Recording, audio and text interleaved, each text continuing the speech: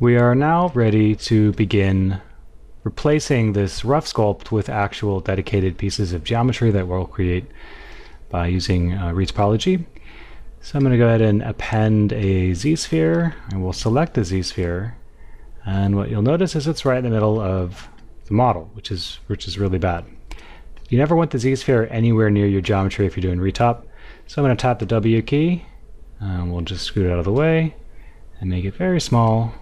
Doesn't matter where it is, you just don't want it anywhere where you'll accidentally uh, have it interfere with your, your retop process. So now I'm going to go ahead and drop my density to 1 and my Dynamesh resolution to 0. And we'll just begin on this little piece here, right on the forehead. And okay, so I need to go into draw mode. I need to make sure that my symmetry is active. And what it's going to do oh, if I edit topology, that would be helpful, is it's still going to use the pivot. Well, as soon as you, you make a face, it'll move the pivot to where you're clicking on the geo, but but until you've made your first face, it's going to use the pivot of wherever your z-sphere happens to be sitting. So if your camera feels weird when you first start, that's probably what's going on there. And we'll need to probably just scoot this guy up. Something like that.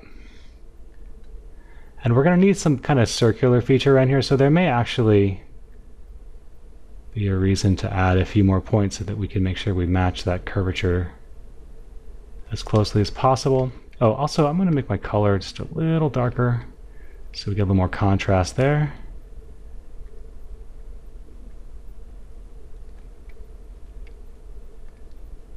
And we'll just carry this one around.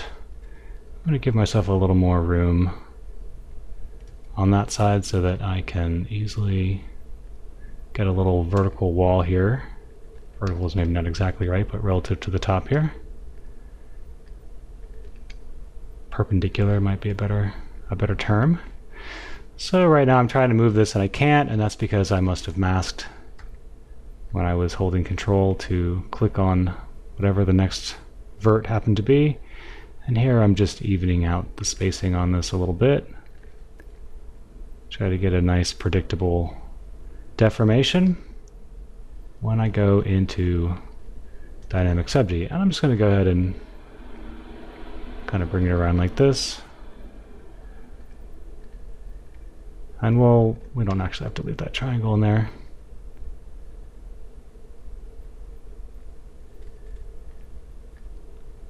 Get rid of that guy. And then for this, let's see, what's the best solution? Maybe we just get rid of this edge altogether.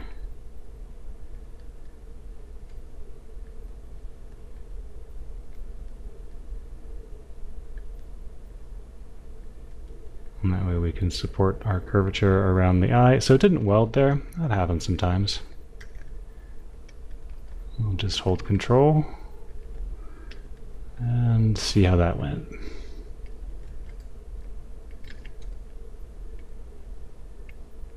Cool. Okay. Tap F to zoom out, get a little breathing room there. Let's tap solo. We'll hit the A key to enable our preview, and then I'm just going to hit this Make Polymesh 3D. You will notice we were here and we are now here. There's only one subtool in this tool, there are nine over here. That's where we want to go back to. So this is our z-sphere. It's still selected. I'm going to tap the A key and we'll delete topology and append that piece of geo that we just made, which is right here. And you'll see this all the time. I mean, probably 100% of the time. It's going to just, it never really knows which direction you want it to have the normal going. So I'm just going to go ahead and we'll do a mirror and weld. And then from here we can flip it and we'll take a look at what's going on there.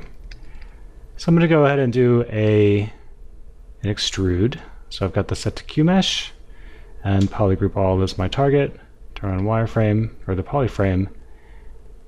I'll push it in and we'll do a flip.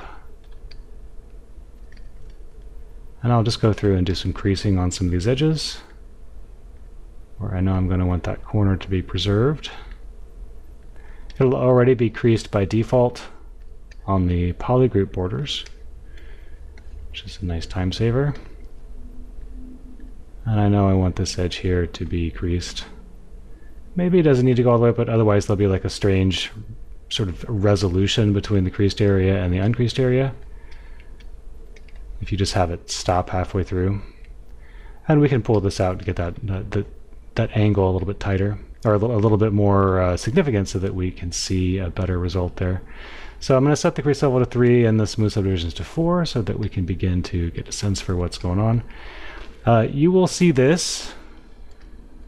Whoops.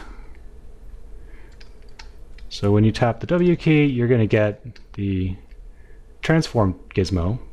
But when I'm working on this particular kind of geometry, this retop, I prefer the transpose tool. And the reason I like the transpose tool is it's really easy, tap the Y key to get to the transpose tool, to click on a vert and click on another vert, and then whatever you're doing, you can basically conform your geo to to that edge. So I find that to be very, very useful, and I'll do that all the time, kind of show you what I'm talking about, why that's why that's cool. And I'm just going to move this edge up so that th that crease there has something more interesting to describe. So you can see we get that nice form, and just to push the dynamism, we can kind of scoot this down a little bit so we get that curvature in that surface. And now we'll just need to come in here and remove the old sculpting to reveal the new sculpting. So I'm just holding Alt with clay tubes.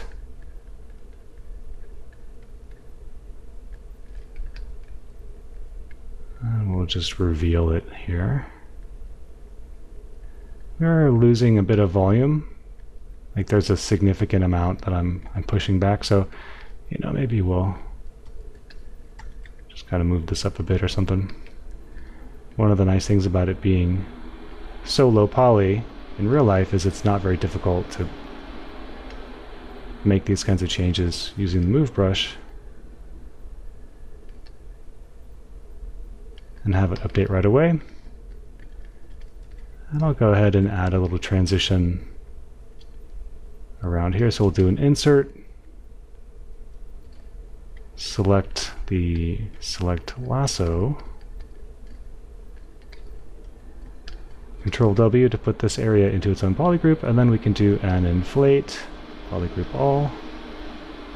Go and pull it out. We'll do a crease polygroups. And there we get that little transition, which I think is kind of nice. I don't like how sharp this is. Getting a little bit too close to a 90 degree angle. There may be, you know, plenty of scenarios where I would want to keep that, but in this case it's just feeling a little rough on me. There we go. Tap the F key.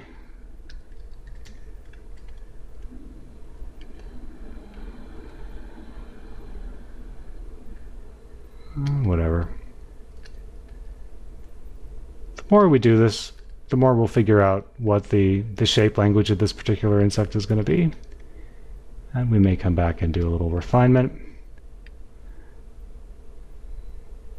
Let me take a look one more time. So if you've got the um, the z-sphere selected, any z-sphere, I think the alt, oh, it doesn't work. Okay, so sometimes the alt, holding alt to select another subtool can get a little bit, a little strange. Make a little breathing room there. A lot of this stuff is just totally subjective, and my hope that uh, for what you're taking away from this is like the overall process, not necessarily some notion that there's like an exact shape that this thing needs to be. Okay, so we're at time for this uh, this video. I'm going to go ahead and pick up in the next one.